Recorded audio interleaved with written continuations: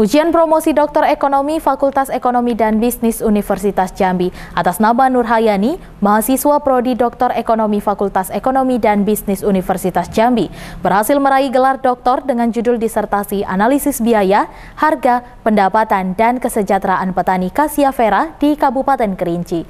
Informasi ini sekaligus menutup perjumpaan kita kali ini.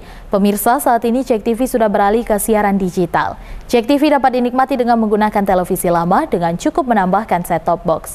Berita Cek TV juga dapat Anda akses melalui kanal YouTube resmi Cek TV. Akhir kata saya Yurita Melani pamit undur diri, tetap jaga protokol kesehatan. Selamat siang, selamat beraktivitas. Cek TV, inspirasi kita.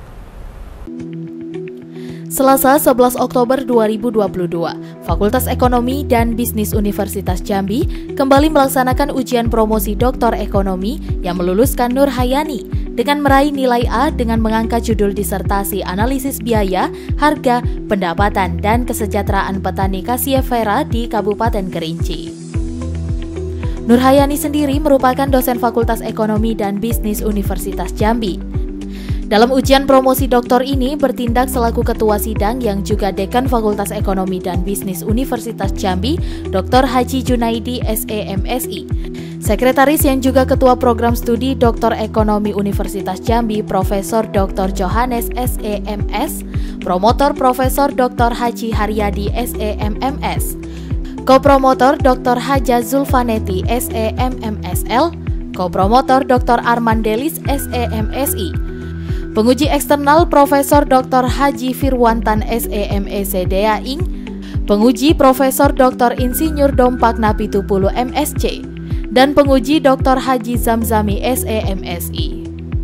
Dari hasil ujian promosi dokter ekonomi Fakultas Ekonomi Bisnis Universitas Jambi, Nur Hayani berhak dan layak menjadi dokter ekonomi dengan nilai 83,58 atau A dengan IPK 3,98.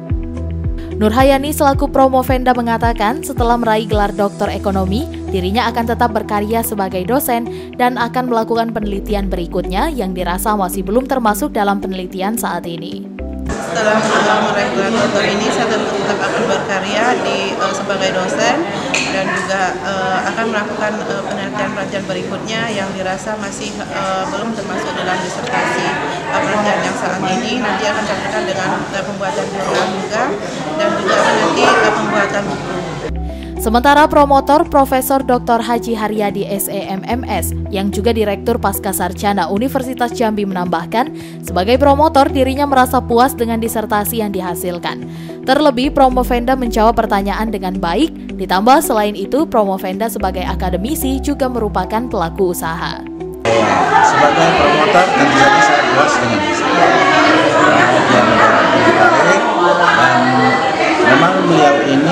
Pemda ini eh, di samping sebagai akademisi dia juga adalah pelaku usaha.